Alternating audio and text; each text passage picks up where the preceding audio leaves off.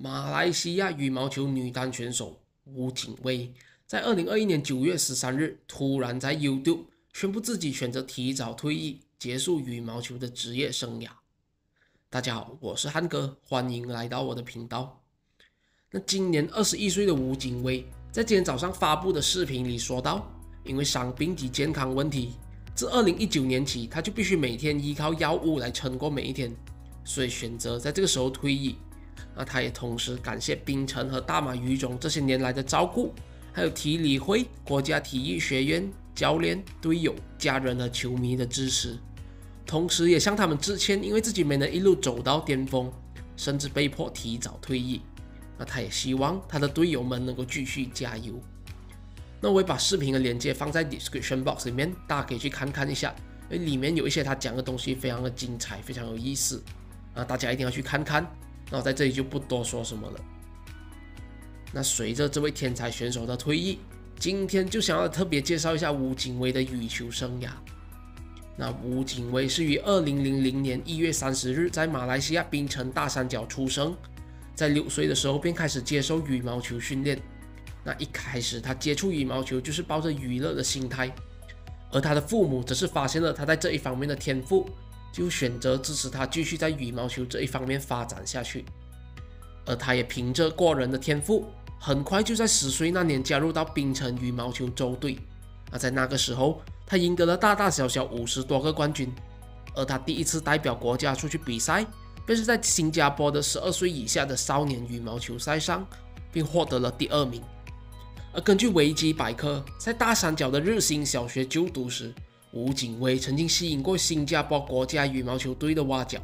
啊，不过在大马羽总和周总的劝阻下，他就选择留下来。而在小学毕业之后，他便去到吉隆坡的金地花园国民中学就读，并被纳入五级加里尔体育学院，接受更专业化的训练。而在二零一四年，十四岁的吴景威被大马羽总破格招入国家队，与其他国家选手一起训练。而在二零一五年，他的职业生涯正式迎来了高光时刻。首先是在冬运会获得女子团体亚军及女子单打季军，随后便在比利时羽毛球国际赛获得职业生涯第一个成年冠军，并成功在世界青年羽毛球锦标赛以十五岁的年龄成为马来西亚第一位世青赛女单冠军。我没想过自己会拿冠军，我有想过可能会进入八强或者获得铜牌。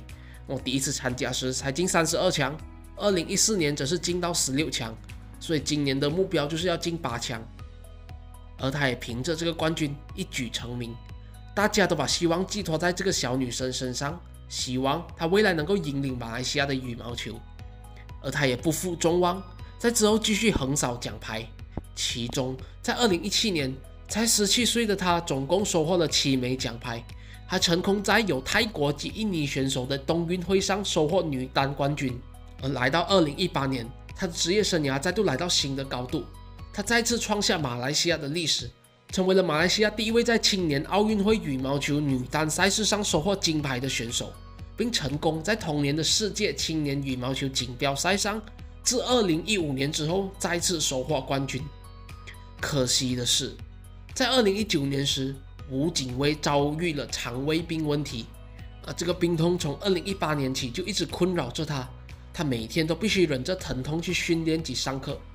所以呢，在跑遍了八家医院之后，他决定在二零一九年十月动割肠手术，并最少要休战四个月。而这也导致他直接就错过了东京奥运的积分赛，并肯定没有办法参加他非常渴望参加的东京奥运。而在二零二零年复出之后，他还参加了在马尼拉举行的亚洲团体赛，并获得季军，并在今年的西班牙羽毛球国际赛上收获亚军，最后一次为马来西亚羽毛球站上领奖台。那讲真的，突然看到吴景威的这个消息时，还是挺惊讶的，因为在我的记忆里，他一直都是被视为马来西亚羽坛的接班人之一。那我也很期待他在受伤之后能够复出。因为他还很年轻，最少还可以再战个十年。那在这个时候选择退出，其实是挺可惜的。因为他那巨大的天赋，相信如果他持续下去，一定是能够在羽坛打出历史。啊，不过说到底，比起任何的荣誉，运动员自己的身心健康才是最重要的。我们作为外人，只能尊重他的选择，并给予他祝福。